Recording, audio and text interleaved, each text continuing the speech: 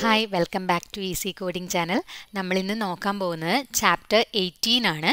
Symptoms signs and abnormal clinical and laboratory findings not elsewhere classified ഇതിന്റെ code range വന്നിട്ട് R double zero two R ninety nine വരെയാണ്. അപ്പോൾ നമുക്ക് guide lines നോക്കാം. First guideline use of symptom codes എപ്പോഴാണ് നമ്മൾ symptom codes use ചെയ്യേണ്ടതെന്നാണ് ഈ ഗൈഡ് ലൈനിൽ പറയുന്നത്. അതായത് ഇപ്പോൾ ഒരു ഡോക്ടർക്ക് കറക്റ്റായിട്ട് കൺഫേം ചെയ്യാൻ പറ്റുന്നില്ല ഒരു അസുഖം. അങ്ങനെയാണെന്നുണ്ടെങ്കിൽ നമ്മൾ ഈ സിംറ്റം കോഡ്സ് ആണ് യൂസ് ചെയ്യുക. സിംറ്റംസിനാണ് നമ്മൾ കോഡ് ചെയ്യുക.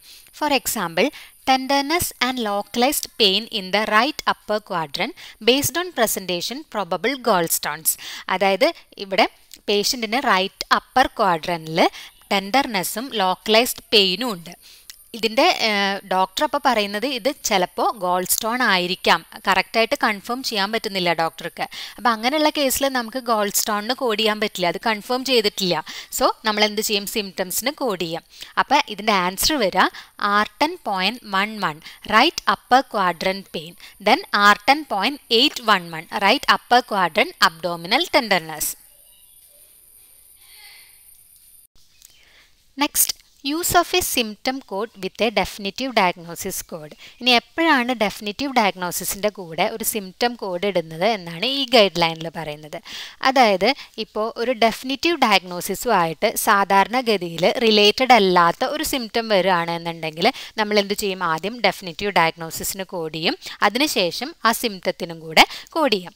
For example pneumonia with haemoptysis അതായത് ഇവിടെ പേഷ്യന്റ് ന്യൂമോണിയും ഉണ്ട് അതുപോലെ തന്നെ ഹീമോപ്റ്റൈസിസും ഉണ്ട്. ഹീമോപ്റ്റൈസിസ് എന്ന് പറഞ്ഞിട്ടുണ്ടെങ്കിൽ സ്പ്യൂട്ടത്തിൽ ബ്ലഡ് കാണുന്ന അവസ്ഥയാണ് ഹീമോപ്റ്റൈസിസ് എന്ന് പറഞ്ഞത് അപ്പോൾ അത് സാധാരണഗതിയിൽ ന്യൂമോണിയയായിട്ട് അസോസിയേറ്റഡ് അല്ലാത്ത ഒരു സിംറ്റാണ് സോ നമ്മൾ ഫസ്റ്റ് എന്ത് ചെയ്യണം? ന്യൂമോണിയയ്ക്ക് കോഡ് ദെൻ നമ്മൾ ഹീമോപ്റ്റൈസിസിനും കൂടെ കോഡ് ചെയ്യണം. ഇനി നമുക്ക് ഒരു എക്സാമ്പിളും കൂടെ നോക്കാം. Abdominal pain due to acute appendicitis ഇവിടെ അപ്പൻഡിസൈറ്റിസ് എന്ന് പറയുമ്പോൾ തന്നെ നമുക്ക് അറിയാം എന്താണ്? അബ്ഡോമിനൽ പെയിൻ ആയിരിക്കും. അപ്പോൾ നമ്മൾ അബ്ഡോമിനൽ പെയിനിന് രണ്ടാമത് കോഡ് ചെയ്യേണ്ട ആവശ്യമില്ല. അപ്പൻഡിസൈറ്റിസ് മാത്രം കോഡ് ചെയ്താൽ മതി. K thirty five point eight zero unspecified acute appendicitis അപ്പോൾ ഇത്രയേ ഉള്ളൂ. ഡെഫിനിറ്റീവ് ഡയഗ്നോസിസുമായിട്ട് സാധാരണഗതിയിൽ റിലേറ്റഡ് അല്ലാത്ത ഒരു സിംറ്റമാണ് വരുന്നതെന്നുണ്ടെങ്കിൽ നമ്മൾ ഡെഫിനിറ്റീവ് ഡയഗ്നോസിസും കോഡ് ചെയ്യണം. അതിനുശേഷം ആ സിംറ്റവും കൂടെ കോഡ് ചെയ്യണം. Next combination codes that include symptom അതായത് ഡെഫിനിറ്റീവ് ഡയഗ്നോസിസിന്റെ കൂടെ ചിലപ്പോൾ സിംറ്റവും കൂടെ ഇൻക്ലൂഡഡ് ആയിട്ടുള്ള കോഡ്സ് ഉണ്ട്. അപ്പോൾ നമ്മൾ സിംറ്റത്തിന് വീണ്ടും കോഡ് ചെയ്യേണ്ട ആവശ്യമില്ല എന്നാണ് പറയുന്നത്. നമുക്കൊരു എക്സാമ്പിൾ നോക്കാം. Irritable bowel syndrome with diarrhoea അപ്പോൾ ഈ ഇറിറ്റബിൾ ബവൽ സിൻഡ്രത്തിന്റെ കൂടെ ഡയേറിയയും കൂടെ ഉണ്ട് എന്നാണ് പറയുന്നത്. അപ്പോൾ അത് ഒരൊറ്റ കോഡിൽ തന്നെ നമുക്ക് കിട്ടും. K fifty eight point zero irritable bowel syndrome with diarrhoea അപ്പോൾ ഡയേറിയയ്ക്ക് നമുക്ക് സെപ്പറേറ്റ് ആയിട്ട് കോഡ് ആവശ്യമില്ല. ഇത്രയേ ഉള്ളൂ കോമ്പിനേഷൻ കോഡ്സ് ഉണ്ടെങ്കിൽ നമ്മൾ സിംറ്റംസിന് വേറെ കോഡ് ആവശ്യമില്ല. നമ്മൾ പഠിച്ചിട്ടുള്ള കാര്യം തന്നെ അത് തിരിച്ചും മറിച്ചും ഒക്കെ പറയുന്നു എന്ന് മാത്രമേ ഉള്ളൂ. Next guideline repeated falls ഇതിൽ രണ്ട് കോഡ്സ് ആണ് വരുന്നത്. R twenty nine point six and Z ninety one point eight one R twenty nine point six use ചെയ്യുന്നത് എപ്പോഴാണെന്ന് വെച്ചിട്ടുണ്ടെങ്കിൽ ഇപ്പോൾ റീസെന്റ്ലി വീണിട്ടുണ്ട്. അതുപോലെ തന്നെ അതിന്റെ കാരണം എന്താണ് വീഴാനുള്ള കാരണം എന്നുള്ളത് ഇൻവെസ്റ്റിഗേറ്റ് ചെയ്തുകൊണ്ടിരിക്കുകയാണ്. അങ്ങനെയാണ് എന്നുണ്ടെങ്കിൽ നമ്മൾ R twenty nine point six കോഡാണ് യൂസ് ചെയ്യുക. ഇനി ഹിസ്റ്ററി ഓഫ് ഫാളിങ് മുന്നേ വീണിട്ടുണ്ട് ഇനി ഫ്യൂച്ചറിൽ വീഴാനായിട്ടുള്ള ചാൻസസും ഉണ്ട്. അങ്ങനെയാണ് എന്നുണ്ടെങ്കിൽ നമ്മൾ Z ninety one point eight one കോഡാണ് യൂസ് ചെയ്യുക. ഈ രണ്ട് കോഡ്സും ചിലപ്പോൾ ഒരുമിച്ച് വരാറുമുണ്ട് അതായത് ഇപ്പോൾ റീസെന്റ്ലി വീണിട്ടുണ്ട് ഹിസ്റ്ററി ഉണ്ട് മുന്നേ വീണിട്ടുള്ള ഹിസ്റ്ററി ഉണ്ട്. അങ്ങനെയാണെങ്കിൽ ഈ രണ്ട് കോഡ്സും നമുക്ക് ഒരുമിച്ചിടുന്നത് കൊണ്ടും കുഴപ്പമില്ല എന്നാണ് ഈ ഗൈഡ് ലൈനിൽ പറയുന്നത്. Next coma scale coma സ്കെയിലിന്റെ code R forty point two category codes ആണ്. ഈ കോഡ് നമ്മൾ യൂസ് ചെയ്യുന്നത് എപ്പോഴാണെന്ന് വെച്ചിട്ടുണ്ടെങ്കിൽ നമുക്കൊരു പേഷ്യന്റിന്റെ കോൺഷ്യസ് ലെവൽ അറിയാൻ വേണ്ടിയിട്ടാണ് നമ്മൾ ഈ കോഡ്സ് യൂസ് ചെയ്യുന്നത്. ഇത് സാധാരണഗതിയിൽ എന്തെങ്കിലും ബ്രെയിൻ ഇഞ്ചുറി ഉള്ളവരിലോ അല്ലെങ്കിൽ എന്തെങ്കിലും സെറിബ്രോ വാസ്കുലാർ ഡിസീസ് ഉള്ളപ്പോഴോ അല്ലെങ്കിൽ sequelae of cerebrovascular disease ഉള്ളപ്പോഴോ ഒക്കെയാണ് നമ്മൾ ഈ കോഡ്സ് യൂസ് ചെയ്യാറ്. അല്ലാത്തപ്പോഴും ഇത് യൂസ് ചെയ്യാറുണ്ട്. ഇപ്പോൾ ഇന്റൻസീവ് കെയർ യൂണിറ്റിൽ കിടക്കുന്ന പേഷ്യൻസിന്റെ കോൺഷ്യസ് ലെവൽ അറിയാൻ വേണ്ടിയിട്ടും നമ്മൾ ഈ കോഡ്സ് യൂസ് ചെയ്യാറുണ്ട് കോമ സ്കെയിൽ കോഡ് യൂസ് ചെയ്യാറുണ്ട്. ഇനി എപ്പോഴും കോമ സ്കെയിൽ കോഡ് യൂസ് ചെയ്യുമ്പോൾ ആദ്യം നമ്മൾ ഡയഗ്നോസിസ് എന്താണോ ഡയഗ്നോസിസ് അതാണ് നമ്മൾ ആദ്യം കോഡ് ചെയ്യേണ്ടത്. ഇപ്പം എന്തെങ്കിലും സെറിബ്രോവാസ്കുലർ ഇഞ്ചുറി ആണെങ്കിൽ അത് അല്ലെങ്കിൽ എന്തെങ്കിലും ഡിസീസ് ആണെങ്കിൽ സെറിബ്രോവാസ്കുലർ ഡിസീസ് ആണെങ്കിൽ അത് അതായിരിക്കണം. ആദ്യം നമ്മൾ ഡയഗ്നോസിസ് ആയിരിക്കണം ഫസ്റ്റ് കോഡ് ചെയ്യാൻ വേണ്ടിയിട്ട്. അതിനുശേഷം വേണം നമ്മൾ ഈ കോമ സ്കെയിൽ കോഡ് ഇടാനായിട്ട്. ഇനി കോമ സ്കെയിൽ കോഡ് നിങ്ങളൊന്ന് എടുത്തു നോക്കുകയാണെങ്കിൽ R forty point two code എടുക്കുകയാണെങ്കിൽ അതിനകത്ത് മൂന്ന് കാറ്റഗറീസ് ഉണ്ട്. R forty point two one R forty point two two and R forty point two three ഈ മൂന്ന് സബ് കാറ്റഗറീസിൽ നിന്നും നമുക്ക് കോഡ് എടുക്കണം. അതായത് ആദ്യം ഐസിന്റെ കാര്യം പറയണം. പിന്നെ നമ്മൾ വെർബൽ റെസ്പോൺസ് നോക്കണം. പിന്നെ മോട്ടോർ റെസ്പോൺസ് നോക്കണം. ഈ മൂന്ന് കോഡ്സും കൂടെ നോക്കിയാൽ മാത്രമാണ് നമ്മുടെ കോമ സ്കെയിൽ പൂർണമാവുള്ളൂ ഇനി ഇതിന്റെ സെവൻത്ത് ക്യാരക്ടർ നോക്കിയിട്ടുണ്ടെങ്കിൽ സെവൻത്ത് ക്യാരക്ടർ എന്ന് പറഞ്ഞിട്ടുണ്ടെങ്കിൽ ഈ കോഡ്സിന്റെ ഒക്കെ സെവൻത്ത് ക്യാരക്ടർ എന്ന് പറഞ്ഞിട്ടുണ്ടെങ്കിൽ ഇത് എവിടെ വെച്ചാണ് ഈ കോമ സ്കെയിൽ എടുക്കുന്നത്? അതായത് എമർജൻസി ഡിപ്പാർട്ട്മെന്റിലാണോ അല്ലെങ്കിൽ ആംബുലൻസിൽ വെച്ചിട്ടാണോ ഹോസ്പിറ്റലിൽ വെച്ചിട്ടാണോ അങ്ങനെ എവിടെ വെച്ചിട്ടാണ് എന്നുണ്ടെങ്കിൽ അതാണ് ഈ സെവൻത്ത് ക്യാരക്ടർ ഇൻഡിക്കേറ്റ് ചെയ്യുന്നത്. ഈ സെവൻത്ത് ക്യാരക്ടർ ഈ മൂന്ന് കോഡ്സിലും അതായത് R forty point two one subcategory കോഡ്സിലും R forty point two two subcategory കോഡ്സിലും R forty point two three subcategory കോഡ്സിലും ഈ മൂന്ന് കോഡ്സിലും ഈ സെവൻത്ത് ക്യാരക്ടർ സെയിം ആയിരിക്കും. അതായത് സെയിം സ്ഥലത്ത് വെച്ചിട്ടായിരിക്കുമല്ലോ എടുക്കുക. അപ്പോൾ അത് ആ സെവൻത്ത് ക്യാരക്ടർ സെയിം ആയിരിക്കും.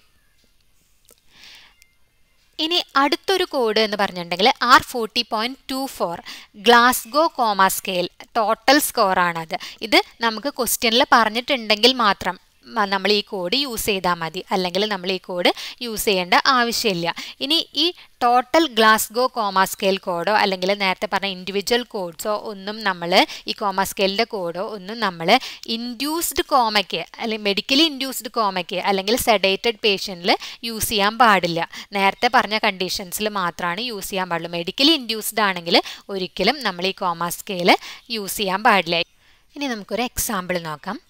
30 year old man found down after unknown injury with skull fracture and with concussion and loss of consciousness of unknown duration. Upon hospital admission, the patient was evaluated with the following Glasgow coma scale scores.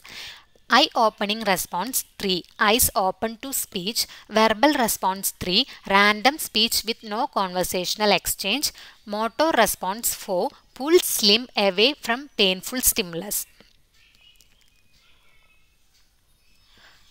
അപ്പോൾ ഈ കേസിൽ നമ്മൾ first code ചെയ്യേണ്ടത് ഡയഗ്നോസിസിനാണ് എന്തൊക്കെയാണ്? സ്കള്ളിൽ injury സംഭവിച്ചിട്ടുണ്ട് എന്ന് പറഞ്ഞിട്ടുണ്ട്. അതുപോലെ തന്നെ കൺകഷനും ഉണ്ട് വിത്ത് ലോസ് ഓഫ് കോൺഷ്യസ്നെസ് അപ്പോൾ അത് രണ്ടുമാണ് നമ്മൾ ഫസ്റ്റ് കോഡ് ചെയ്യേണ്ടത്.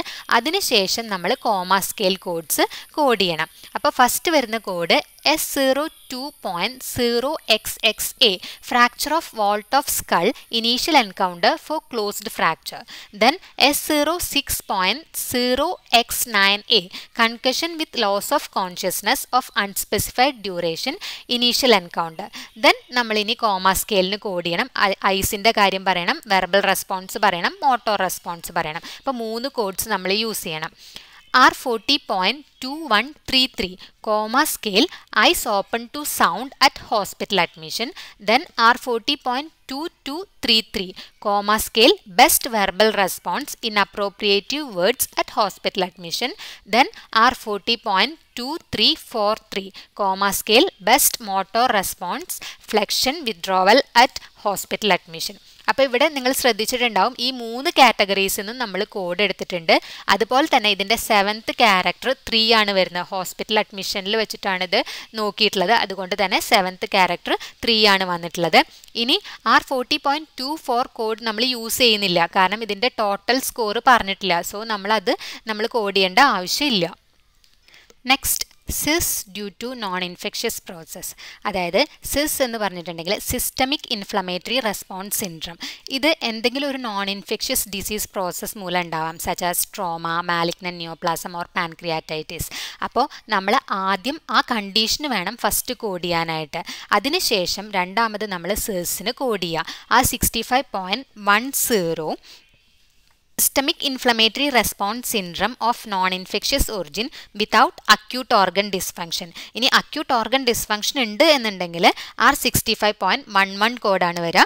Systemic inflammatory response syndrome of non infectious origin with acute organ dysfunction acute organ dysfunction ഉണ്ടെങ്കിൽ നമ്മൾ അഡീഷണൽ ആയിട്ട് അക്യൂട്ട് ഓർഗൻ ഡിസ്ഫങ്ഷനും കൂടെ കോഡ് ചെയ്യണം. ഇനി നമുക്കൊരു എക്സാമ്പിൾ നോക്കാം. സിസ് due to pancreatitis and acute renal failure ഇങ്ങനെയാണ് ക്വസ്റ്റ്യനിൽ തന്നിട്ടുള്ളത് എന്നുണ്ടെങ്കിൽ നമ്മൾ ആദ്യം ആ കണ്ടീഷൻ കോടിയ പാൻക്രിയാറ്റൈറ്റിസിന് കോടിയ അതിനുശേഷം സിസ് കോടിയ പിന്നെ മൂന്നാം മൂന്നാമത് അക്യൂട്ട് ഓർഗൻ ഡിസ്ഫങ്ഷന് കോഡ്